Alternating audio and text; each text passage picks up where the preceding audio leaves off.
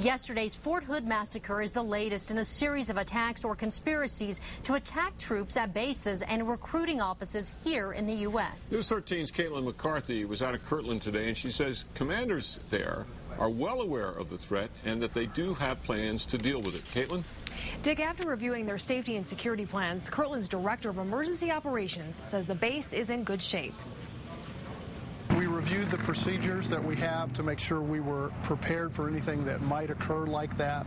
But at the same time, the indication is that this was an isolated event at Fort Hood, and uh, we, we, did not uh, take any any change, make any changes here at Kirtland.